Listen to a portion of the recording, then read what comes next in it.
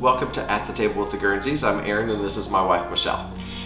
So today we're going to do three recipes because tis the season, it's Christmas time, it's all the holiday fun, parties, family get together. So today we're gonna do three appetizers, super easy. We think you're gonna love them.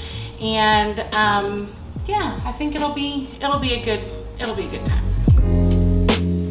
First up today is a cheese ball. This one was a classic at my house growing up. Um, we always had one at holiday events. It's going to take two blocks of cream cheese, eight ounces each, two cups of freshly grated cheddar cheese, or you can cheat and get the pre-grated stuff like I do, a couple of green onions, finely chopped, teaspoon of Worcester, a teaspoon of hot sauce, dried parsley, half a teaspoon of garlic, oregano, a dash of black pepper. Once we form and chill that, we'll roll it in chopped pecans, guessing about two thirds of a cup. It's quite simple. You take all the ingredients minus the pecans, throw them in your mixing bowl, and let it go. I form mine in a small bowl with plastic wrap and chill it, then roll it in the pecans to uh, put it out for presentation. Our next recipe is sausage balls. Now, um, it's not exactly the way we know it growing up. This recipe actually calls for Red Lobster Cheddar Bay biscuit mix. So you're gonna take a box of the mix with the seasoning packet, a cup in a, a cup and a quarter of the shredded cheddar, an eight ounce cream cheese, and a pound of uncooked sausage. Dump it all in your mixer with your dough hook attachment. Get it going, form into balls and put them in the oven. Super simple. And uh, yeah, you can't go wrong. I mean, it's Red Lobster Cheddar Bay Biscuit Mix. and for our final recipe, we don't have a real title for this. This is something that we've done for years, but it's always a crowd pleaser. Three ingredients. It is our baked Gouda spread. You're gonna use um, a round Gouda. I like to use the one that's not smoked, but we have smoked for our show today. But uh, just make sure whatever you do, take off the wax.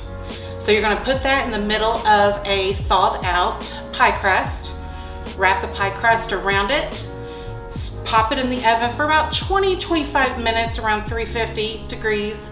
Just make sure it's golden brown and it looks nice and, you know, done. Pull it out and while the pie plate is still hot, you're going to pour um, I like personally blackberry preserves, um, raspberry, any kind of preserves or jam that you would like to pair with your cheese. And then people just dig in and put it on bread, put it on a cracker, whatever. It's just super yummy and people think it's super fancy. Totally not, but you know, make them think that. And that, there you go. In true holiday fashion, we have some friends here that are gonna try the appetizers that we prepared tonight. This is Sherry and this is Ed, and they go to our church, and we're so excited that they're here today.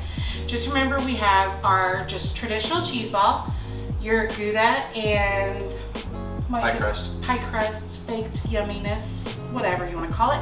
And then we have the sausage balls. So guys, just come on over, dig in. Oh yeah, look at the Gouda. Gooey, gooey. The Gouda is very gooey. And you're just gonna wanna put that on crackers and, and go to town. Oh, and, and just uh, pot holder. No, don't burn yourself. Don't burn yourself. You don't have insurance for that. so a couple of tips for the appetizers. Number one, and this is the biggest, have everything in um, have everything out in room temperature before you start because it just makes everything so much easier. And then always invite a friend. Always invite a friend. Thank you again for joining us for another episode of At the Table with the Guernseys. We really hope that you try these recipes. Let us know. Um, even share recipes or ideas that you would like us to do for future videos. And remember to love people and cook them good food. Like, subscribe. Ring the bell. That's it on YouTube for future videos. And have a very Merry Christmas.